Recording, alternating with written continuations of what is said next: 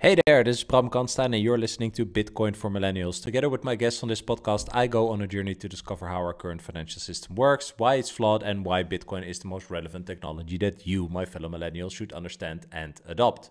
In this episode, I'm joined by Erik Cason. I had a little snafu with the audio of this episode, at least in the beginning, and I fixed that later. So when you uh, start listening now, my sound is a bit bad, but that will change within a minute or two, three. So yeah, Erik Cason.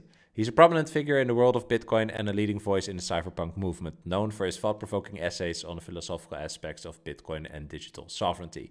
His book, Cryptosovereignty, captures his transformation from socialism to anarchism and underscores his advocacy for an independent money system, emphasizing the transformative potential of cryptography in the realm of Bitcoin. I absolutely love Erik's content and better yet his rants. So let's see if uh, he has some rants for uh, for this episode. I'm super excited to talk with him today, and uh, yeah, I hope you enjoyed this episode. Thanks for having me, Ram. I'm uh, excited to be here. We we already had a great conversation before we are recording, so we'll we'll just keep it rolling. yeah, yeah, yeah, yeah. We'll keep it rolling. I love that you uh, mentioned. You know the the name of the, this podcast is Bitcoin for Millennials. Why why do you think this new technology is so important for millennials?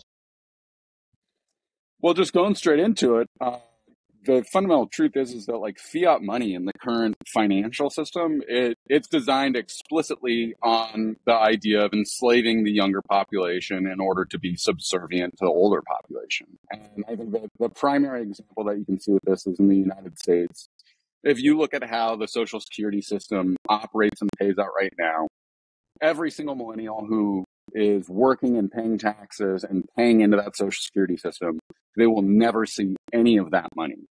And I really want to start with the basis of the ethical idea of how a moral, nihilistic, disturbing, uh, and frankly exploitative a system like that is. And that's that's fundamentally how fiat money is designed. That's the same reason why millennials struggle to be able to buy groceries because of inflation. They struggle to be able to buy an affordable home because of the way that those prices have been jacked up. And that this is about an entire system that is designed to enslave people to a form of life that is about working a 60 hour work week, being able to barely get by. And at the end of it, you will have literally nothing to show after 40 years of hard work. And so this is why Bitcoin is so radically important is that it was not designed for the rent seeking class that currently owns everything. This was designed to be a fair monetary system for all people everywhere across time. And that's the most important one is that across time, Bitcoin honors the fact that you can't just willy nilly make up new units of Bitcoin. And so by being able to actually have a static fixed supply of money that allows for money to do what it naturally is supposed to do, which is be deflationary. It's only in the last hundred years that we developed this uh, freak form of money that we call fiat. That the word fiat in Latin, it specifically means by decree. And that's what it is. It's fundamentally a lie that is designed to have value because there's a government behind it saying, if you don't accept this money at the value that we say, we can punish you. And all that that is is literally an authoritarian decree. Uh, so what I saw with Bitcoin for myself was that this was literally a new form of money that was designed to escape from the enslavement of fiat. And I think it's really important, particularly at where we're at with both inflation and with the coming central bank digital currencies that are going to be deployed, that people really understand that Bitcoin was designed in order to free millennials from this system of time exploitation. I, I fully agree with what you said the only thing I find difficult is also when I look at my own journey and and like my conversations with other millennials is although what you say is true, a lot of millennials, especially in the West, aren't really well. Some people have problems, obviously, but we weren't.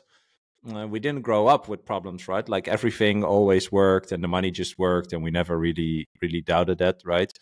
Do you think it's only when people encounter problems that they can actually, you know, perhaps find a thread that leads them to Bitcoin. Like for me, my my situation, I don't know, I just ended up there just because I actually was confronted with someone who explained to me why money in the bank is not yours. uh, and that's kind of my uh, my biggest threat to to go more into Bitcoin. But like, how how do you view that? Like, how can people I mean, get into Bitcoin? For me, one of the big things that, that really affected me uh, was really coming to understand uh, sort of how the global monetary system works. And I spent a fair amount of my youth traveling around the world. I spent time in Southeast Asia and other places, and I saw how endemic and horrific the amount of poverty going on in those places were. And it really fascinated me because I was like, how is it possible that these people can work so hard, be uh, so entrepreneurial, and yet they seem to barely be getting by? And that's when I started, you know, researching how the money system worked, or like what the World Bank was, was, how these relationships work. Uh, and I actually got my degree in international relations, sort of focusing both uh, on history and international economics. So this really sort of opened up the whole territory for me, which had me really understand how these systems function. Uh, and what's interesting is that at this point in time, I was still sort of this rah socialist of being like, we just like we just got to elect the right people in the government, and we just got to get the right people into the right roles in order to change all of this. Uh, but as I sort of peeled back the layers more and more, I started to realize that like the the incentives are actually so grossly misaligned in a way that like it doesn't it doesn't matter who's in charge of these systems. Like they're fundamentally designed to exploit people in a way that that it's very sneaky in the way that uh, we're sort of taught that like if something feels really good, then like it must be true. And that was sort of the line of thinking that led through for me to be like, oh, like we just got to elect the right people because like that feels good. They're saying the right stuff. That's how it works. But then when I really looked at the results of what was going on, you know, like um, like people venerate Obama as being this really wonderful liberal president who implemented all these great policies. But when I really looked harder at it, I was like, well, if that's true, like, why is this Democrat liberal president the one that's actually responsible for drone bombing more innocent people than any president before? And I started to realize, like, oh, like, these whole ideas of Republican and Democrat, they're not actually that different at all. They actually seem to be very much committed to the same form. And again, with peeling back the layers more, I was like, well, what's this whole situation with war? And like, why does America seem to be involved in these continuous wars, whether it's a Democrat or Republican? And that's when I started to really realize, oh, it's about how the incentives are for the government to print money, for that to provide that to war profiteers, and for them to then encourage wars on both sides of the aisle. And it was, frankly, it was really dark and intimidating and scary to come to terms with. Um, and I also found a lot of people at that point, they're like, well, uh-uh, like turn on the Netflix. I, I don't want to look at this.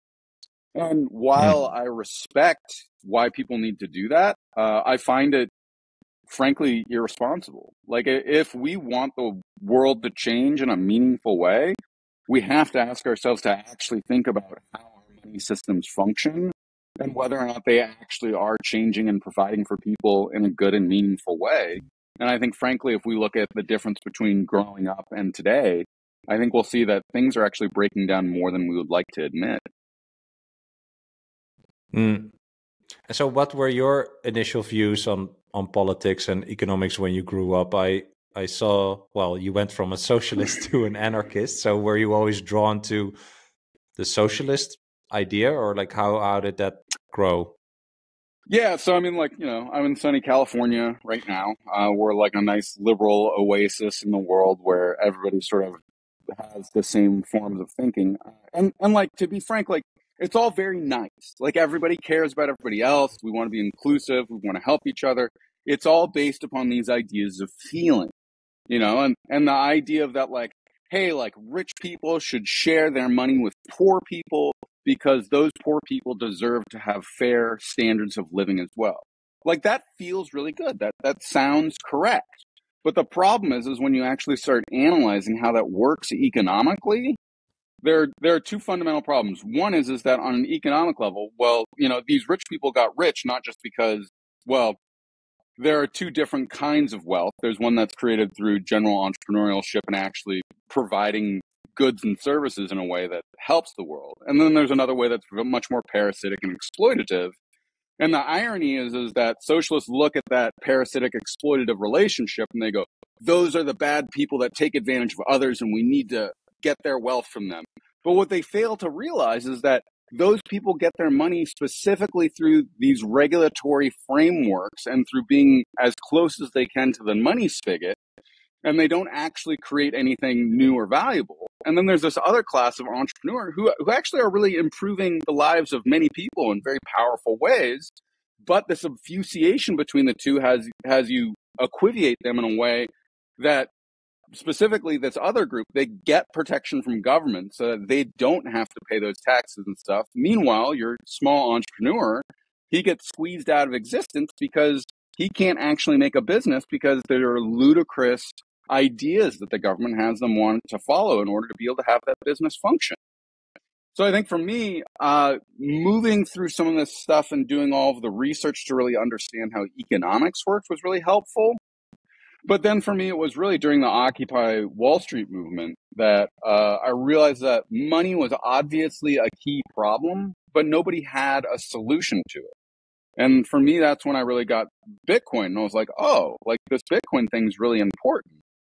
Uh, and the other one for me is that, like, the idea of anarchism, I didn't understand how it could organizationally function in any sort of a meaningful way without the state. So that's why I went to socialism.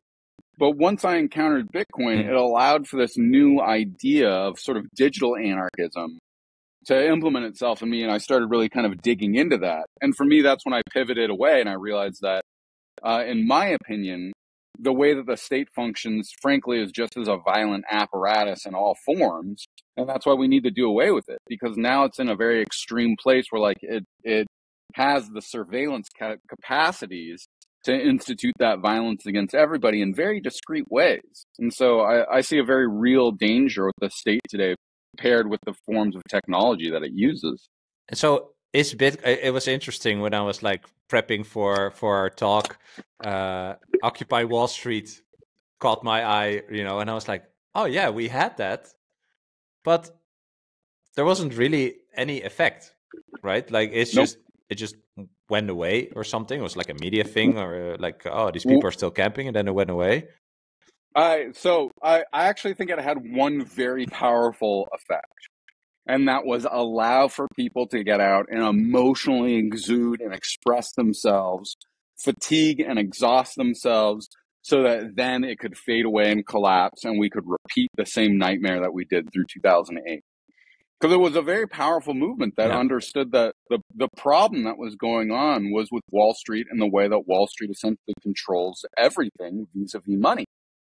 But within that, there was no solution, there was no answer, there was no methodology to actually address the issue. It was just a lot of lamenting about the very real, deep pain that people were experiencing because we lived inside of a broken money system. And the frank truth is, is that there yeah. was no solution really at that point in time.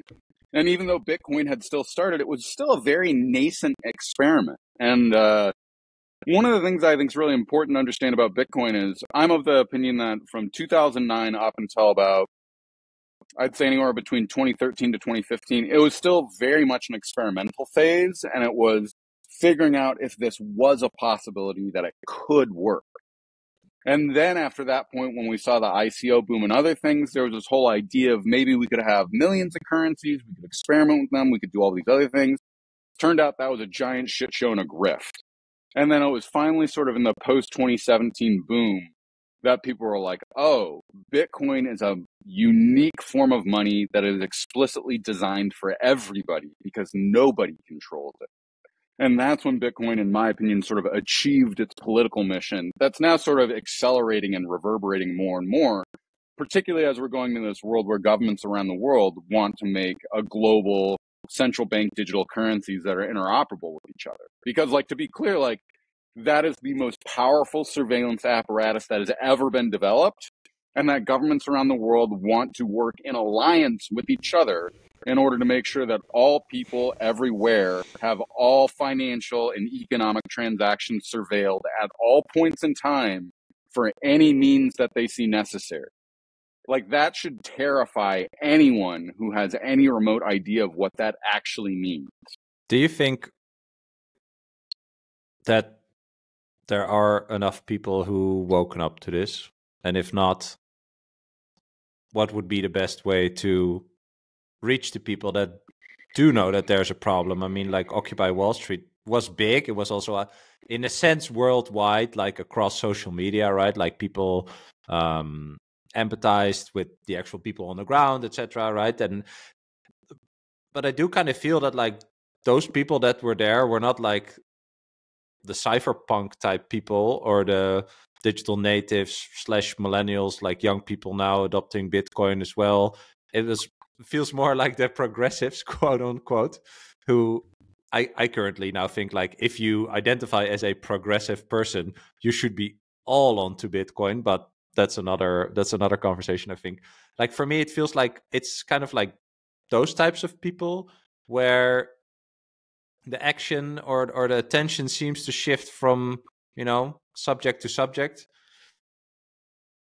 While at the same time as you mentioned like there there's real effort on the way to create a surveillance mechanism slash state slash technology that will also not bode well for these people. Like, what, what do you think about that? Yeah, so so I heard two questions there. Uh, the first one in regards to are there enough people that get it? Uh, yes, absolutely. Um, and it's it's really exciting to see how many people get it. However, the big problem is is that we're not organized in a thoughtful way right now.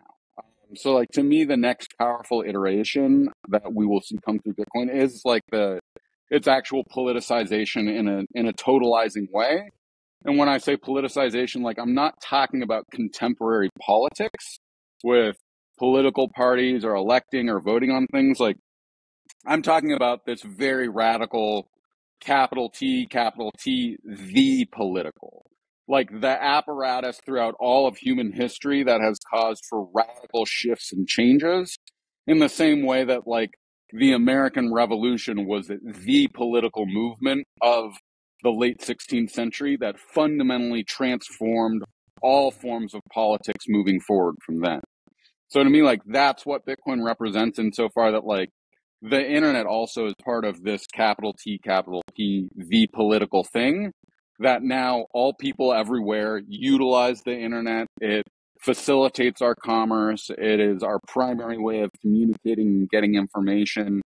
And yet somehow that same apparatus has nothing to do with contemporary politics in any meaningful way. Like that must change. And I think that changes by Bitcoiners essentially radicalizing their own movement and creating a vanguard that has the specific task of educating people around the world about what fiat money is, how it's designed to exploit and steal from them and surveil them, and how and why Bitcoin resolves that problem. Uh, and to the second part of your question, uh, I think you know both progressives and socialists, like they're, I very much believe like their hearts are in the right place, like they have the correct desires to create a more fair and equitable world. However, they've been terribly misled in the ways and methods to do that. And one of the things that drives me absolutely bonkers is how often I meet progressives uh, or people that are deeply passionate about the environmental movement. They go, yeah, but but Bitcoin wastes all of this energy. And I go, oh, is that so? So like you're an expert in energy policy. So like please tell me like why do you think energy markets frequently go into negative valuations? you know, and they go, what? I go, well, you know, like if you have a wind farm and you're at full capacity, you have too much energy on hand. So you either have to sh- pay people to shut down your energy capacity in windmill, which is an expense, or you can pay people to take that energy off of your hands. And they go, what? I go, so it turns out that like Bitcoin miners are actually very efficient at being able to do that because they can just switch on and off randomly however much they want to. So they can take up as much load as they need to. So it actually turns out that the most powerful and positive thing in order to get closer to a sustainable energy future that you desire is with Bitcoin. And it's pretty funny because a lot of times uh, they almost glitch out on that and they're like, whoa, like I gotta step away from this. And to me, like this is one of the very interesting things, and one of the things that I find the most concerning is that there's very little understanding of how much people are being played by propaganda and how powerful that is. And I frequently find, uh, particularly with boomer friends of mine, how much of a struggle it is for me to really try to present to them like, hey, like the, you know, and like this is sort of my own extreme anarchist approach of that, like, hey, like the government hates you and like they they have no desire for you to have self sovereignty or agency over your own life because of the way that like they're fundamentally and inherently alienated from you. They have no way to like know you in a personal or meaningful way. But because of the way that you have spent an entire life being told that the government loves you and cares about you and that you know they've made mistakes in the past but they've remedied that like that's all bullshit and it's really amazing because I think the internet's really breaking that down, and that's why millennials are so much more powerful in this in this space of being able to get it. Is that we can actually go out and find rogue information that the state does not want us to have, and we can educate ourselves on. You know, and so it's really interesting to like talk to boomers about yeah. like, hey, like MK Ultra was like a real thing that happened. So same thing with the Tuskegee syphilis experiments. Same thing, you know, with all of the different procedures that violated people's constitutional rights and were just mm-hmm. grossly unethical things to do. Like those all were real and happened. And so like you really need to understand the history of the last 80 years in the West and the significant and severe wholesale abuses that governments have done to their citizens to really be able to actually step back and go, okay, maybe this actually is a system that's designed to exploit and take advantage of people in a way that I, I didn't appreciate or understand at this point. And to me, like that's sort of the key that pro- progressives really need to understand is getting that like there hasn't actually been an incident in human history where like the government was actually like leading the charge on helping people in a good and powerful way. And again, you'll get bullshit where people go, "Well, what about you know they they ended slavery and and you know black people got equal rights in the 60s and i was like you realize there was like massive fucking struggles from the people directly in order to like get those changes made. Like the government was just like yep, like yep we're gonna like end slavery and yep we're gonna like give black people civil rights. Like no like that was that was a massive struggle that people had to carry out on their own very similar to the massive struggle that we have to carry out to free people from the insidiousness of fiat money. Yeah it's interesting that that when your case that you make about the wind farm and the energy is exactly what I also meant when I said progressives, right? Like that whole energy angle must fascinate you, right? If if you deem yourself a progressive, but I think it's kind of like then then you have to figure out okay where do you get your information from or who do you believe and then they're actually more like the boomers that you just illustrated right yeah this certain institute or someone with a label uh, I don't know or somewhere up a hierarchy told told me this is this is bad and uh, you know criminals use it and uh, whatever. So that is now my uh, my point right? And that's what I'm going to defend. But the real digital native millennials at least I hope there's there's some of them are also progressive and they still think like this. But I agree with you. You know, like uh, the fact that you can find other information than what what you've been taught. That's actually a very very powerful thing, right? Because if you have an open mind or if you want to think for yourself right or if you're discovering like what do i actually think of certain things then you know if that door in your mind is just open enough and you find other information, you know, not from a random uh, dude on Facebook, but, you know, actually lots of credible people, for example, on Twitter, right? Like that's also, I think, why a lot of these progressives hate Twitter.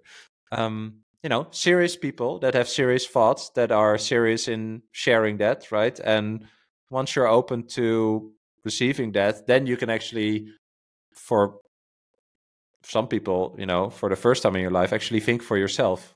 And that's, I think, just the, the first step for a lot of people to actually find other information, consume that information, and then realize, oh, wow, like, what do I actually think about this, right? What's my opinion or what do I believe? And it only, like, the rest of the journey only starts starts there. So I'm I'm personally really fascinated by like the personal journey of a lot of people just to switch your mentality from I know that I don't know everything and so I need to gather information if I want to, you know, form this opinion and not just follow some random, you know, whatever person that says like this. This is how you should should think. So I love that about millennials too. So I hope uh, I see in my YouTube stats that I'm actually reaching millennials. So for all all the people listening, yeah, start thinking for yourself. Uh, I wanted to ask a question. I, I, just want to comment on that, and that yeah, sorry. Uh, go ahead. Like I, I yeah what you pointed out, like I think it's really important that like all of this only starts the when the possibility of what you've been told has been incorrect becomes an opening. And that was one of the things about how COVID and sort of the vaccine and all of that played out that I thought was really powerful and important was that while as destructive as it was, it opened the door for a lot of people to go, whoa, like my my government might actually have been lying to me about stuff. And that opens them to the possibility of now looking at history and all of the different things that have happened there. But I also think that that, that now allows for there to be the space to actually go gather that information and synthesize it on their mm. own. You know, and it was funny because I actually had an interaction a few months ago that, uh, frankly, was terrifying because, like, we we had a very similar conversation of like, yeah, like stuff's real wacky. There's like lots of different information out there that's like totally off base. And and like I sort of thought me and the guy were moving the same direction. He was like, Yeah, he's like, it's really important that we like address this like misinformation issue. And he was like, That's why like I think it's really great to see that like they they want to get like a misinformation council. And I was like, Whoa, I was like, hang on. I was like, you Wow. So like you think that that's like a good idea that there becomes a government agency that's in charge of telling us what's true and what's not. And he was like, well, yeah, like how else is it possible for us to be able to tell the difference between what's true and what's false? And like, I literally got on my chair and started yelling. I was like, wow, this doesn't even fucking think, man. Like, that's what it is, is that I can tell you if you hold a lighter under your hand and it feels good, like, you can try it out. And if it doesn't fucking feel good, you can stop and go, gee, golly, that was wrong. Like, that's the important thing. We can, like, take information that's right and wrong and we can compare them with each other and use that to figure out what is right and what is wrong. And at this point, he was like, well, but the, there's just too much information out there. We can't do that. And I was like, no, no, no, we absolutely can. You don't want to because it's too hard for you, and that's fine, but don't include me in that. And I'm pretty sure at this point I literally just like walked away from the conversation. But it's really scary to me because there yeah. there are I'd say probably a majority of people that actually have a strong belief that like, you know, this like misinformation counselor, whatever you want to call them, that like these people are and it's funny because like again this is a place that uh i sort of I, I, have a soft spot in my heart for progressives of that like this is part of their own naive worldview of that like hey like people out there are like good and like standing up for their morals and what they mean it's like no bro like these are nihilistic pieces of shit that got in the position that they're in by not having any ethical basis whatsoever. And this is the same reason why these people can boldface lie to you about shit like that there's weapons of mass destruction in Iraq, that to be clear, the United States then went and murdered more than a fucking million Iraqi people under this lie. Like that's, those are like real human beings that died because the American public bought this kind of bullshit lie. And so it's really important to understand like this idea of getting to the truth. Like there's a very very real cost of it. And that's one of the reasons, again, when we talk, when I, I talk with liberals and they're like, oh, I love Obama. He was such a great president across the board. I'm like, yeah, it wasn't it great that he fucking drone bombed more than 2,200 innocent brown children? Wasn't that a fucking great thing that he did? And they're like, whoa, hang on, man. Like, you, you like, slow down. I'm like, yeah, the That's fact that he started all these unconstitutional serious. fucking oh wars, God. asshole. Like, come on. Think for yourselves, guys. So sorry, my, my diatribe there, but it, it makes me angry because I think progressives, again, they have yeah. their heart in the right place. They're just not fucking thinking it through. It's like they're looking in the wrong direction, but like now that you're talking, it's kind of characterize this as isn't this like a fiat symptom as well, like a fiat money symptom, right? Because if you're if you're fully adopted you know, in the fiat money system and you never think about it, like lots of people don't do, just like I didn't do before. You know, there's all these um, responsibilities that you gave to other people to decide for you, you know, that eventually influence your life, right? Whether it's the, the worth of the money itself, the taxes, you know, all, all that stuff. And so when you get confronted with something that big, oh, you love Obama, so you love killing children with drones, right? That's just so earth shattering in a sense, you know, that the instant reaction is, no, no, like I have to uh, defer my responsibility, uh, which means I'm not going to think about this. So I'm not even going to discuss with you, right? I, I feel that's like a symptom. It's like a, it's just how people operate and they only take responsibility in like a, you know, logically in like a family setting or children or whatever, you know, but we are part of this of this bigger thing as you said as you said that there's real humans dying because you in part also allow it to because you don't think about the brokenness of the fiat money right so it's also like you're complicit in it in a, in a sense but that's very big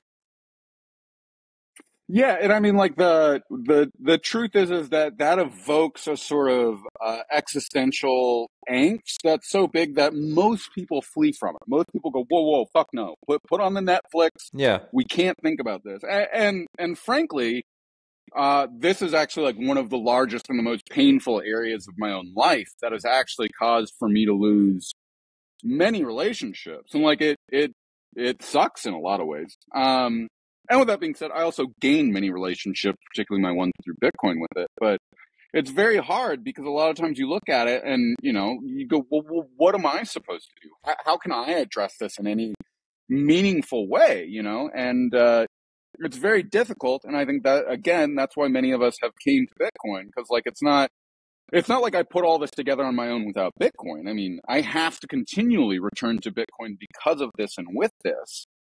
And it's really important to understand the way that we can connect all of these things in a greater and more holistic way because the way that Bitcoin allows for us to lens and view things through this sort of critique of fiat is really important because then that allows for us to address all of the other systemic issues that are going on. And to me, like one of the key ones is food. Like, why is it that our food systems are so dysfunctional and well, if you look at it, like something like corn syrup, the number one additive in food products today, like that was only invented in 1982. And the reason that it's so successful is because through the fiat monetary system, corn farmers were able to go to the government and get huge subsidies, massive subsidies that allow for them to grow corn below production cost that's normalized for anybody else. So they can now produce corn at a fraction of the cost that anybody could actually produce it at. And now they can create all this synthetic sludge that they can dump on the market. That now means, well, hey, I can go to the store and I could buy celery and other healthy foods, but those are, you know, going to be five times more expensive than me buying, you know, the corn syrup slop over here that's been price collapsed. And yeah. it's not just here, but it's sort of across the board where we've seen these sort of affects. And it's very important to be able to pinpoint and criticize the methods and ways that fiat has done this to us. And that's only possible once you actually have opened your eyes to seeing how this system controls us. And, and frankly, a very frightening and terrifying way, you know, and it's, uh, it's very similar to sort of having the conversation with people about, you know, like Epstein didn't kill himself. And it's like, ha ha ha, we get that. And it's like, well, like, have you dug into like who he is and what he was doing? And they're like, well, yeah, but like that's conspiracy stuff. And it's like, it's a conspiracy that the president of the United States at the point in time went to this man's island where they were clearly raping children on 36 different occasions. Like, it's really important to get, like, I, again, I get, like, this is insanely dark, but we do have to actually consider for a moment that maybe the president of the United States was raping children facilitated by an Israeli Mossad agent. And again, I get it sounds fucking crazy on its face, but let's actually look at the documentation. And if this is true, we really should consider are these the people that we want running our government? just a question, you know? Yeah. Do you think that response? I um I don't know who I listened to. Maybe it was Patrick Bet David. Like I listened to a podcast where someone said um, that they that they kept their child from using an iPad or watching like YouTube Kids stuff um, until his daughter was five or something, and then he said, well, the first time she watched something or she went through YouTube Kids, or like you know, or or Netflix, just she was watching some cartoon show, and then there were children in that show, and one kid um, hit another kid, and his child was very upset that these two kids were were fighting. That was her initial reaction, and then a week after or something, she was watching something again, and there was again some sort of violence or like one one character hitting another character. And now she was laughing. And so he told this story on this podcast and the other guys were laughing. But then he asked like hey do you like the john wick movies? And then i thought to myself oh, i think john wick's pretty cool. Like he shoots all the people etc right? And then he said but this is the same thing. It's like the the violence gets uh, I don't even know how to what, what, word to use, but you know, it, it turns into entertainment, and you laugh about it or you think it's cool. But it's also a way to prep you for like distancing yourself from that real world thing that occurs in lots of places around the world, right? It's to to create a cognitive dissonance, like this is not real. This is just you know, this is a movie type thing, you know, and what you just referenced, you know, with the whole Epstein thing or or any you know story that is really dark, people just instantly go to like, oh, this is sounds like a movie plot, can't be real, right? Or I saw this once in a movie, or it can't be real, stuff like that. It's it's also your your conditioned to you know instantly distance yourself from that and to just not ask any other question or maybe even spend an hour researching you know um online like i find that so it's fascinating because it also doesn't make sense that for all these types of stories where people say like you know you should really look into this or this is not how you how you thought it was that that's all made up.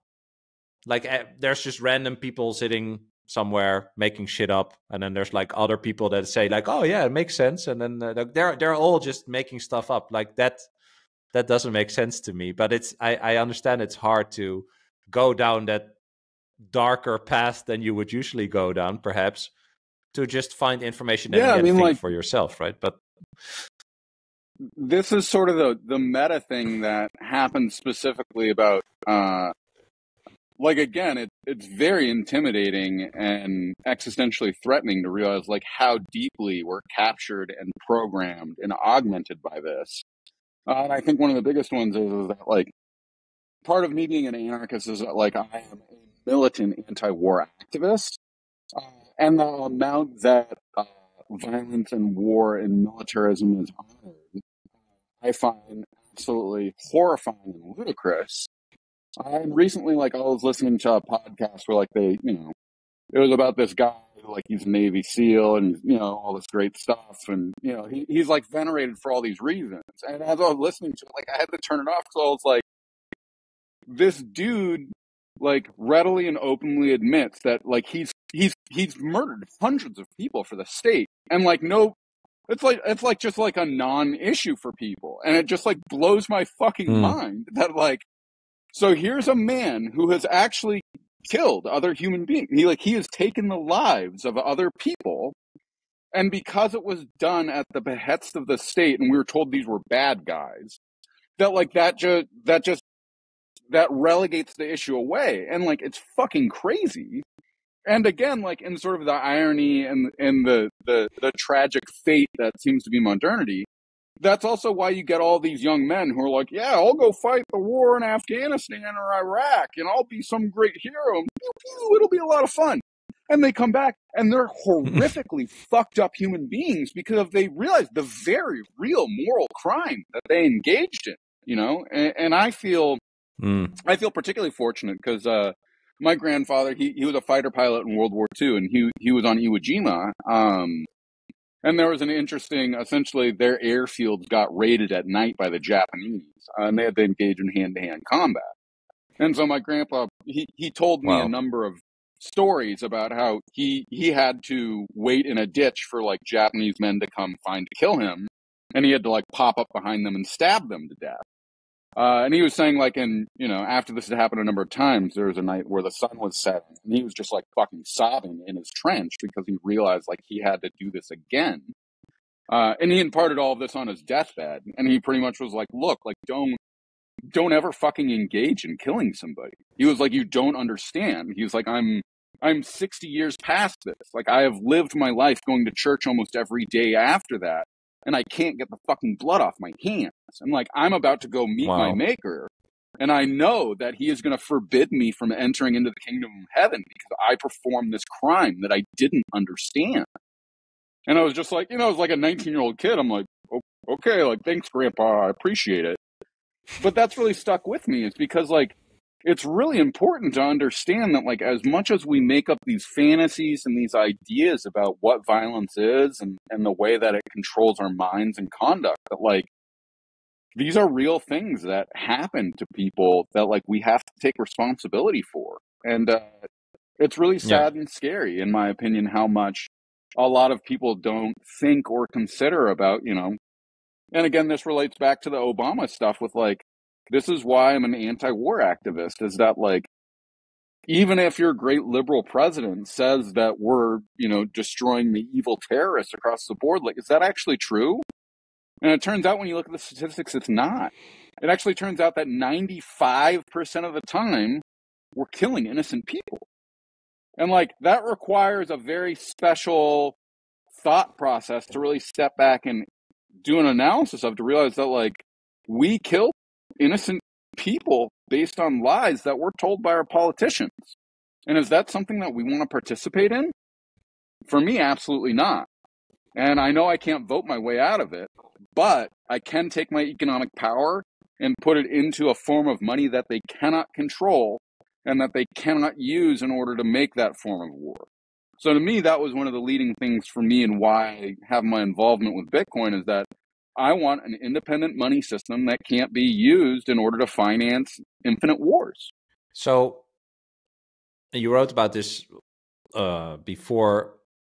How how can Bitcoin then contribute to a return to more truth and accountability instead of you know not having values use or just being nihilistic like how most of the world is now? Like what how well, does it help I mean, to get there? I think I think the most powerful one is this word accountability in a dualistic sense. One is the the very real mathematical accounting that goes into the financing of war. If you look at currently how the Department of Defense, the Pentagon, and other agencies are financed, it's not just through tax revenue, it's through literally the fictionalizing up of new money that then gets issued to these people that can then go spend on Infinity War.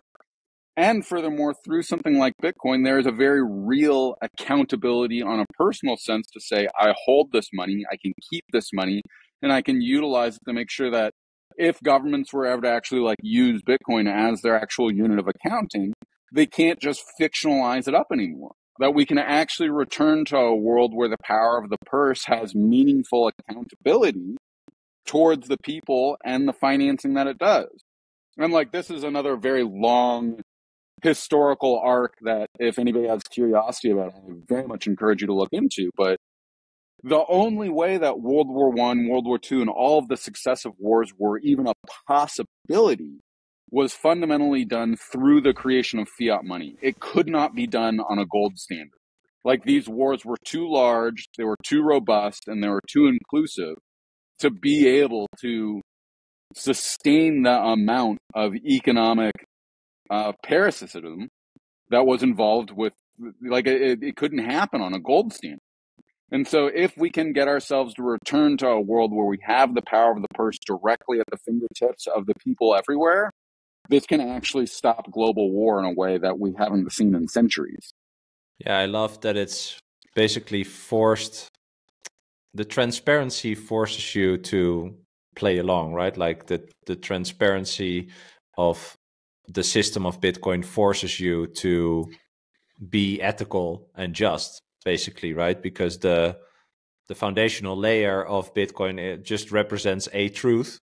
And if we commit to that truth, then everything done upon that layer has to commit to that, right? Like you cannot scam your way out of it in a sense. Like you cannot escape the um, responsibility that is that is connected with using that system. Yeah, and and making this connection between ourselves and our economic power, I think is very important because, uh, again, this is one of the things that fascinates me about the contemporary world is that like money unequivocally like is the most important thing going on in all of our lives not by virtue of it being you know the highest principle or whatever but like our actual everyday day-to-day life things and interactions that we have with people like money is what governs it. And yet so few people actually even understand what that is in any meaningful way. And so once you can really start asking what is money? How is value created how is money supposed to function that you can start to uncover these layers and start to really question it in a deeper and more meaningful way. And to me, the most important part of these ethical questions is really asking, well, who should control the money? How should it be created? Is, like, is it fair or appropriate for money to get unilaterally created by the government and then distributed to, to other people?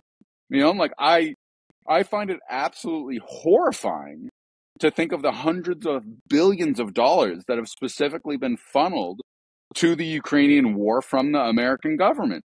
And look, like whatever your opinion about that war is, the question is is should American money be unilaterally distributed by politicians or should there be some form of larger democratic accountability in order to ensure that?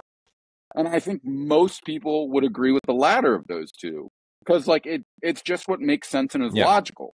And again, this is the stuff that returns me to progressives of, of I want to go look like if you actually believe in democracy or republicanism in any meaningful way, why the fuck are there all of these different agencies and apparatuses that get to unilaterally use our money without us having any say whatsoever in how that gets used? You know? And a lot of times I find that people don't yeah. necessarily want to think that much deeper. And I think that's the biggest thing is, is that I would encourage millennials that like, I get a lot of these things are pretty big and uh, overwhelming, but it's really important that you actually take the time and energy to understand it because if you don't, the people that do understand it are going to use your lack of understanding to control you in a way that you can't escape from. Yeah, well, I mean that's clearly happening, of course, right? Like you, you there, there's so many of these videos on Twitter or Instagram where you know you see these people sitting in their car saying like, "Oh, I have a hundred thousand dollar something something education," you know, and uh, I'm not even working in that profession because it pays like shit, and now I have three jobs and I'm rolling sushi. But I really have no clue actually as to why why that is, you know, and I find that so fascinating that I hope that just for lots of people that that should be like the wake up call, right? Like you well, like I, you are literally being stolen like, from by be yeah. like be fucking angry. Like the like you did the you mm. did what you were told. You like went to school, you got good grades, you like listened to your school counselor exactly, and principal yeah. who were like, yeah, like go to school, take out those massive fucking loans to like get your education in in contemporary dance theory. Like like that's a great idea. Like they fucking scammed you. And now you have to work at Starbucks 40 hours a week, barely scraping by because they encouraged you to take out massive unsecured loans to get a degree that they told you was going to be a worthwhile thing. And the truth is, is that was to lock you into this life that scammed you. And you should be fucking outraged about it. In the same way that you should be outraged about the fact that these baby boomers got to go in and buy up all the fucking property in the 1970s before the money got absolutely fucked. And now they jack the prices through the roof and they turn to you and go, yeah, you should pay $3,000 for your rent for your one bedroom apartment when you barely even make that. Like, this was a system that was explicitly designed to take advantage of you and you should be very, very angry about that. And I want to encourage you that the one thing that you can use as a tool to fight back is Bitcoin. including like and like I specifically say this to millennials that are like at the end of the rope, that have a shitload of debt, that are barely scraping by, that don't see an exit. And look, like some people would definitely disagree with me on this, but I'd say take as much unsecured debt as you can, buy as much Bitcoin as you can with it, and fucking default on that.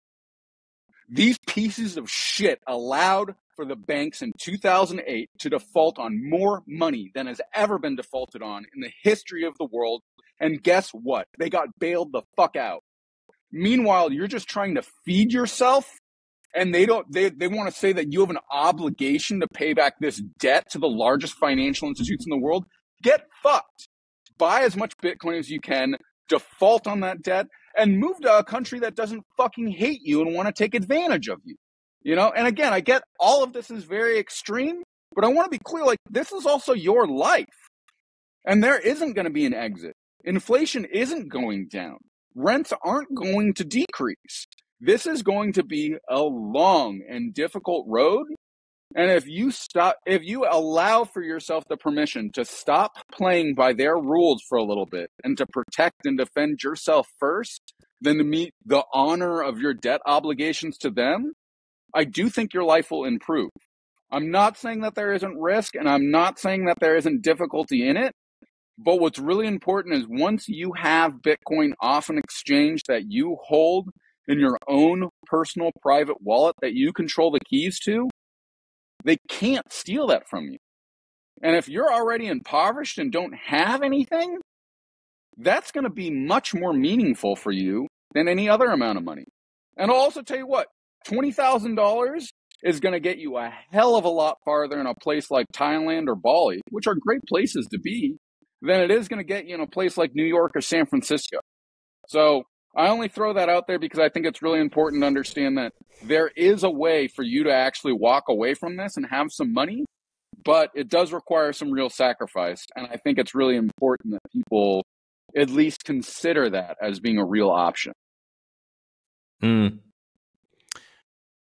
I agree on the like extreme part. Like I, I agree with you, but I also understand this is a this would be a big thing for people to do, right? But I think it starts with realizing that the system that you're in is like a construct made by people no better than you, no smarter than you, no more special than you or whatever, but you are the subject.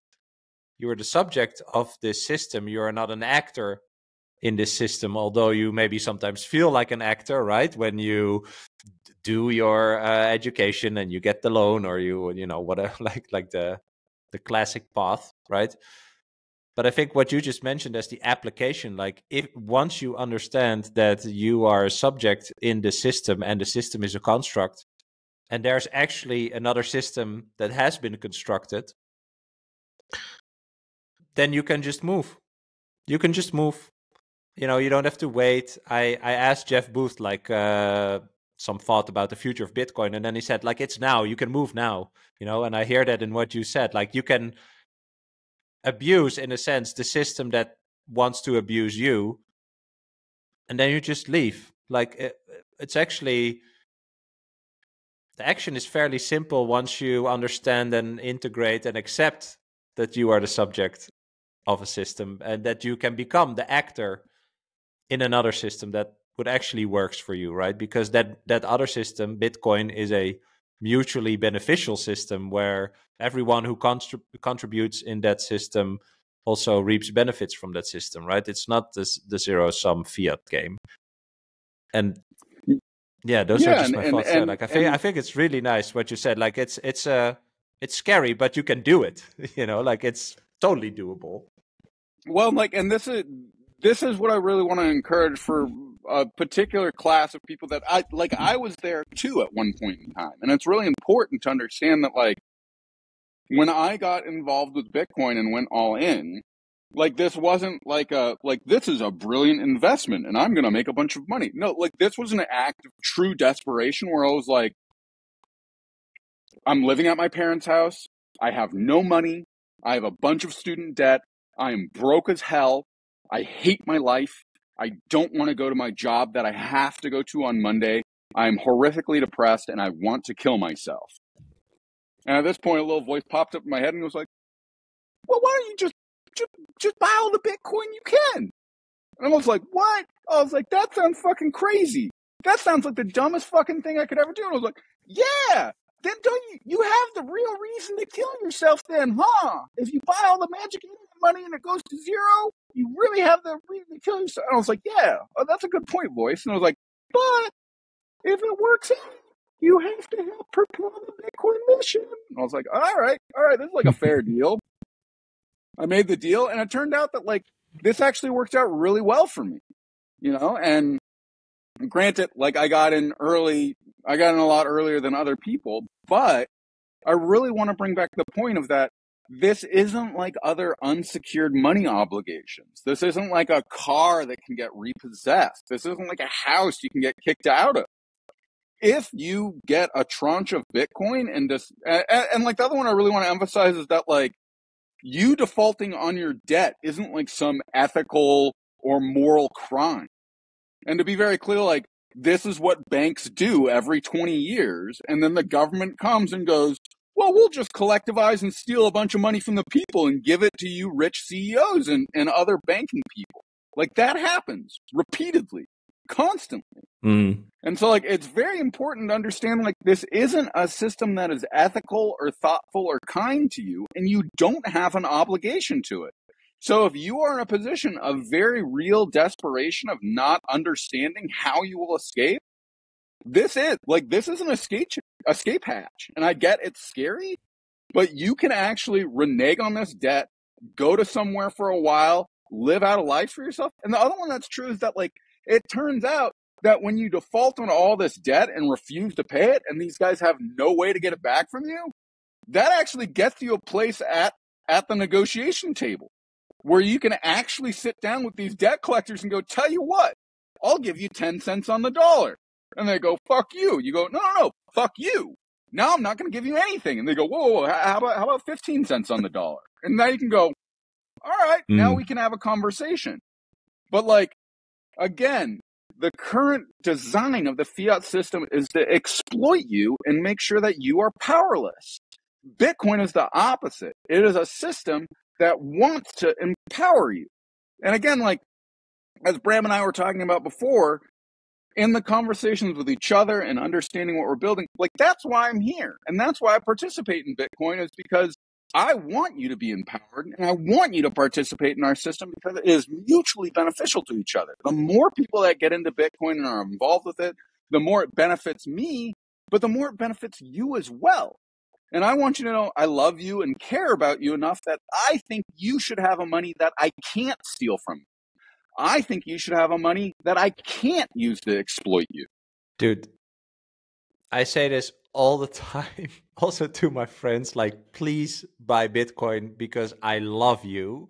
You know, I really feel that it's an altruistic thing to help to educate people on Bitcoin, but the initial reaction you get is like, yeah, of course, because you got in early and you want to get rich. it's like, okay, you'll get there, you'll get there, you know, that you understand that that's not the point. But it's fascinating to, for me to actually realize like six years ago, I would have never thought that I would say this, you know, so it does take time for, I almost want to say like your personality to adapt to that new belief that or well belief that you created based on the rational thing that you saw or discovered right?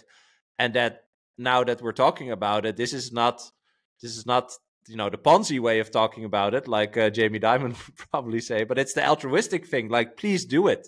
Help yourself think for yourself just do it. And well the, the, this belief if though, not, is then, about yeah you, yeah.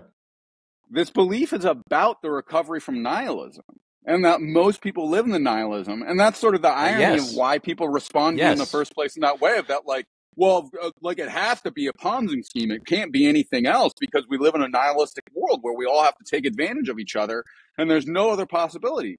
And it turns out that actually the belief in the truth and that the truth is actually a thing of meaning in this world that has a radical understanding that we can come to logically with each other. And that's why Bitcoin's so important is I'm not yes. saying just trust me on this. In fact, I'm saying the opposite. I'm saying you should go verify what I'm saying. You should go engage exactly. in the proof of work exactly. to understand for yourself why Bitcoin has a fixed supply, what that fixed supply means against a fiat money system that has infinite numbers, how and why, if you actually hold your own private keys, why I can't just randomly guess those 12 words, and why the math behind it actually is dignified in such a way that you can know. You can actually know by doing the math yourself that I can't randomly guess those 12 words, nor can yeah. any other power in the universe. Yeah. You don't have to believe us as compared to every other thing in the world. You can actually check if it's true. And that's that that is the entire point. That that's maybe that's just the core of Bitcoin in a sense. Right? Like you can see that what you see uh, well you can investigate that what you see is actually true well, try to do that with any other thing, probably. Yeah, well, and, and this no, is also this, this is a really that, good point. I, yeah, this is also the affect that starts to transform people in a much more holistic way beyond Bitcoin. Is that for me, and this is what I've seen, is this radical encounter with the truth. It fundamentally rescues us mm. from a nihilistic worldview where we actually understand, oh, like the truth actually is a radical thing that we can use to transform the world. And when I take that same form of thought and I go, well, is all this stuff that I've been told about food and that fats are bad, is that actually true? Holy shit, it's not. It is all this, you know, and like whatever it comes to, it's really important because mm. you hmm. start to transform how you think, where you start to lead, oh, maybe I shouldn't actually trust people that tell me to trust them. And in fact, maybe that's actually a signal that I shouldn't trust them and that I should take the extra yeah. time and energy to go check what they're telling me is true. And it, and frankly, like this is another place that you start to run up against that place where stuff can get dark enough that you can become intimidated. You know, and, and for me, like this is where some of my philosophical work comes into is that like, look, like the, and it's hard for people to understand this, like what makes this system evil isn't that there's like a bunch of maniacal people out there being like, ha ha, we get to take advantage of of poor, stupid people by doing this. No, actually, it's quite the opposite. It's actually people who they've never even thought about if this thing is evil. And this is what Hannah Arendt's whole point was with Eichmann in Jerusalem was that Eichmann, the guy who was in charge of shipping all of the Jews off to the camps to be killed in the Holocaust, when he was approached with this question, he couldn't even wrap his head around it. He always maintained through the whole thing that mm. he was a good, upstanding citizen that was obeying the law and that he had to obey his superiors if they were going to be able to live in a good and functional society. And Arendt's criticism was she was like, look at this fucking pea brain moron. We're approaching him with a very real ethical question about his involvement in killing millions of people and he can't even fucking self reflect on it. Like that's how far removed he is. And so it's not that he's some maniacal evil asshole. It's that he's not even capable of thinking that what he's involved with is evil.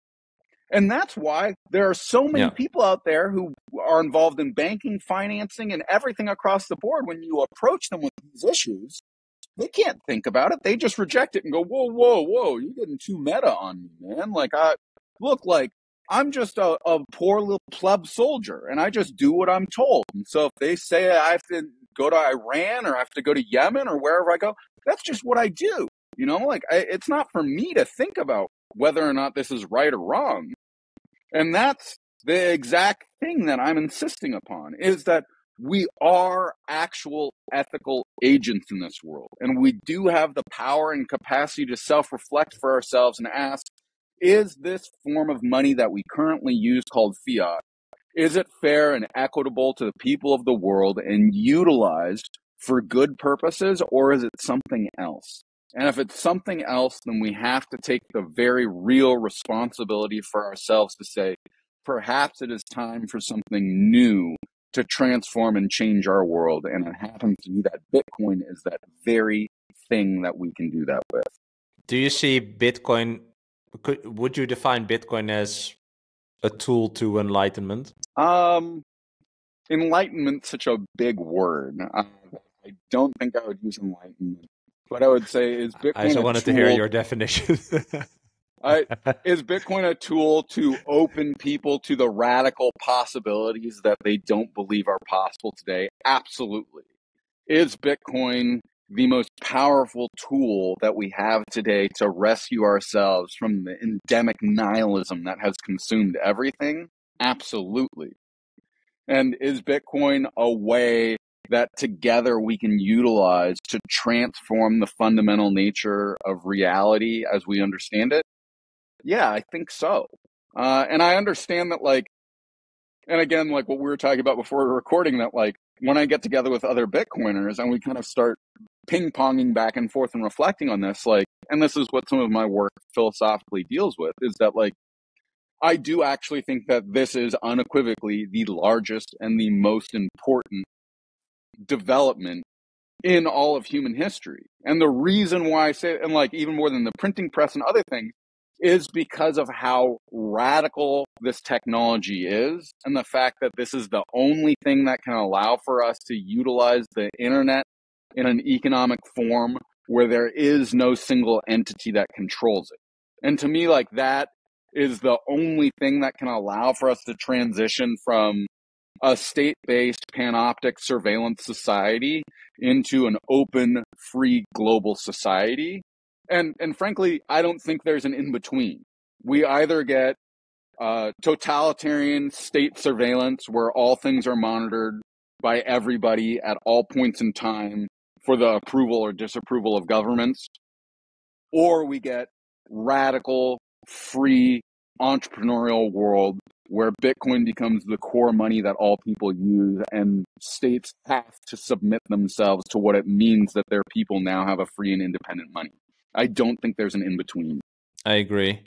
And so you you've also written a lot about or you often touch on like theological aspects. How how do you see Bitcoin in relation to to those?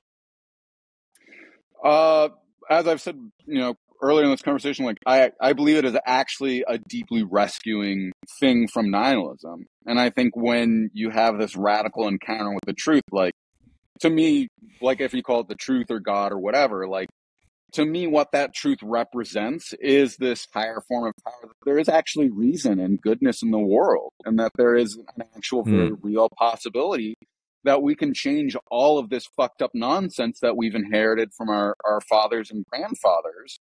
And it turns out that by the virtue of our ancestors and the deep philosophical thinking that they told us to align yourself with truth, there becomes this new, deep, personalized empowerment that I think is very deep and meaningful that I, I feel is spiritual.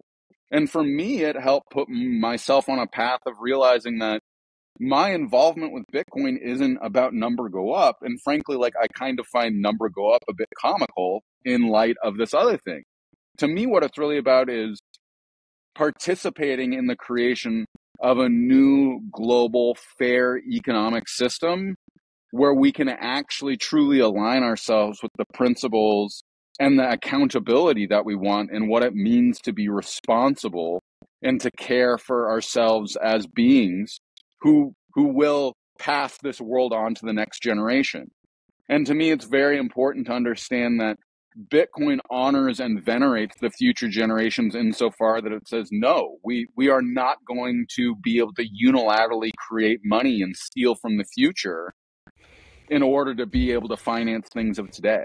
And I think that that's a very, very important thought and mode that we must connect with in order to actually really change things in a meaningful way. Yeah. And so I, I think I think I know what you will say, but if I would ask you why do all roads lead to Bitcoin, what what is the answer there? Well, I think when you kind of look at the you know global economic system and how the internet has had a radical transforming effect over the last 30 years, Bitcoin's the only fair and equal form of money that works everywhere for all people regardless of government or citizen status or any other sort of identifying form. And so I think once you actually go through the logical permutations of trying to understand what is the most ideal form of money that people could be using in a globalized digital society as our own, Bitcoin's the only answer. You know, and if you want to go through your shitcoin arc as well, like you'll have to look at why is anonymity so important and powerful here? And it turns out that like if one is not anonymous, that creates a very real physical body that can be destroyed by governments that will be threatened by a free and independent money system because frankly, it is an actual existential threat to the existence of all states everywhere today because there's not a single state in existence today that isn't radically dependent on fiat money and how it functions and is issued. Yeah, I once I once talked to a guy who said like I don't know if Bitcoin can um, really uh, replace fiat money. I I think it can, but that's what he said. But he said if it lives alongside, if this new system is established alongside, you know, the old system, then inevitably that old system will get like checked more, right? It's kind of like uh, um, the new system of Bitcoin would force the old system to behave better, or else, you know, everyone will actually move, right? So I found that an interesting thought. Like, it would be great if we would really have like a Bitcoin standard. I I believe in that, but I think we will also get somewhere already if it's like a parallel um if it's like a parallel thing especially yeah, I do, if, I do think it'll it ultimately so obvious, be you know yeah advantageous insofar that uh you know that that system countered against bitcoin will force it to behave better in addition to like look like if states really want to like get their shit together and behave in a meaningful and thoughtful way these two systems paired together will actually probably work out pretty well together. So, um, hmm. Yeah, I I feel pretty great about where we're going. And actually, I got to start wrapping up just because uh, I got to go catch a flight to go halfway around the world. So, awesome. Let's do that. Two two short questions to end. If there's a Good. short answer, I hope to this one. How do I know if I'm an anarchist? I think probably the best one is is that you believe in the agency of individuals to make decisions for themselves that are going to be best for themselves and for their community. That you really think that people can utilize their own agency and thought and morals to make decisions for themselves and that they don't need to relegate those decisions to an authority outside and beyond their own control. Love that. Feels like I'm an anarchist then. okay. Last question. I ask everyone the same question. What's a core belief you will never let go?